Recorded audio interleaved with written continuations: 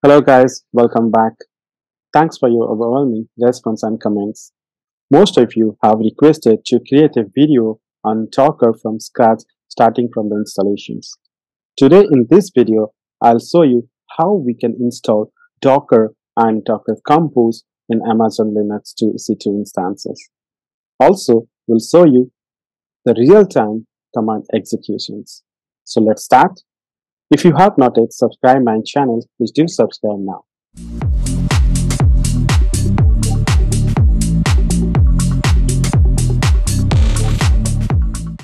I have logged into the EC2 instances. So let's start. Anyway, before you install anything, make sure that you update the operating systems, right? So let's update it sudo yum update hyphen yes. So it's not really required for your organizations of your any company you are working, it's not required to update it. But if you're for a demo, as I have created a new EC2 instance machines, so I'm just updating, make sure that all the operating system is up to date. Okay, let's see. Okay, that says no packages marked for update. That's okay, no issues. Then what we can do here to install Docker, you have to use sudo yum docker so yum. Install docker hyphen yes. So here we are using yum package manager to install the docker engine. So let's hit enter. It will just install docker first just wait for a few seconds and it will be installed.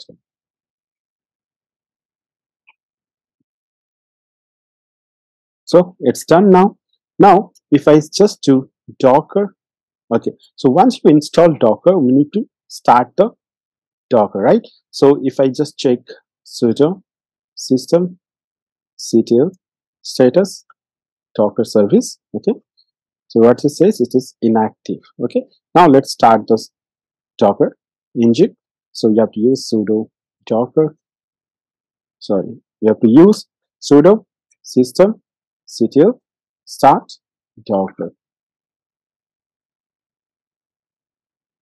now if i check the status you see here okay docker is now active and running. Now let's make myself first root. So i am under root user now.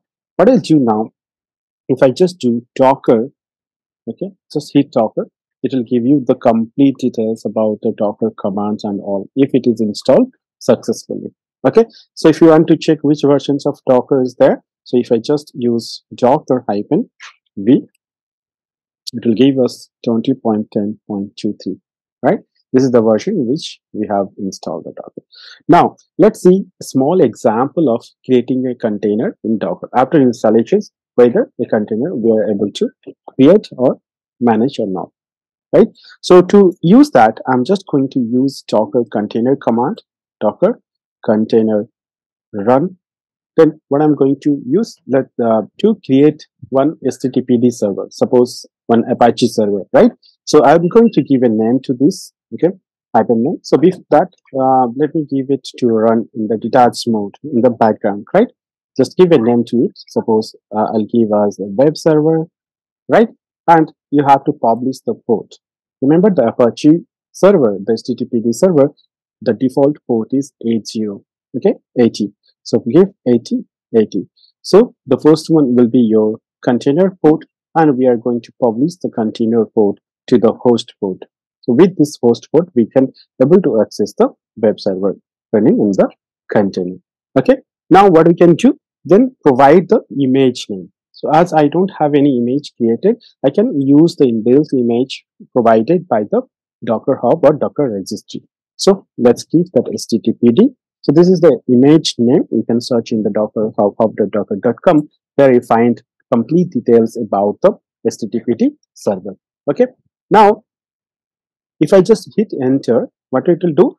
It will just get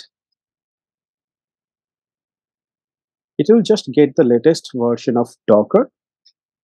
So it will just get the latest version of the HTTPD server and then it will try to create the container. Now you can see here, first what it did, it just unable to find image that means this image was not locally in this laptop or in this server was not available. So it pulled out from the library, from the registry. And then after that, it just created the container. So if I just do docker container ls, so we can see here our container ID. This container is now up 30 seconds ago and is now running. So how I'll access this container? Now we can go ahead and grab the IP address of the grab the IP address of the server where your Docker is installed or Docker container is running, right? Now let's test it. See, we can see here it says with VAX. That means our Apache server is installed and Apache server is deployed successfully in the container. So we create container from the HTTP image. Now, uh, so let's see how we can go inside the running container. So we can use docker exec hyphen it interactively connect to the container. So give the container name or the container ID. So here the container is web server. Okay, and just give bin and bash here. So here it is. You can see now I just connected to the container. I went inside to the con con uh, container and there we have this container working directory. If I just do ls-l here, we can find htdocs. Okay, let's go to this htdocs folder here.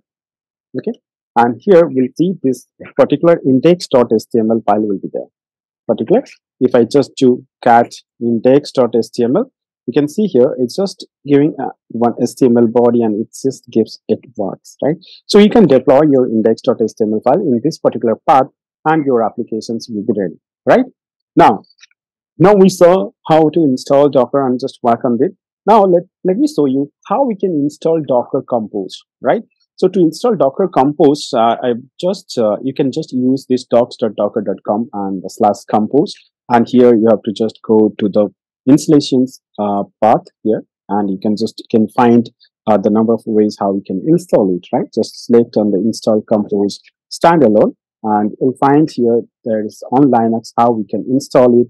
Also, it shows on Windows Server how we can install it. Let me show you in this on Linux machine.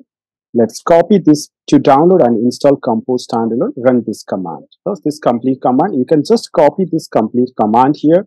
Go to the machine. Okay. Come out from this container. Uh, what I can do here, just paste it here. curl Docker Compose. Now it just downloaded the Docker Compose here. Docker Compose uh, that executable.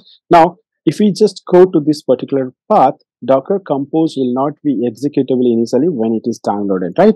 So what we need to do here, see it does not have execution permission. Now what you can do here, you can use uh, chmod plus x here, executable and give Docker Compose file name. Okay. So now if you see here, we'll have the execution permission here, Docker Compose. See, now, if you see here, same thing also is being written here. Apply executable permission to the standalone. So once you provide this executable permissions, we need to execute this command to make sure that um, uh, Docker Compose is up and running or not.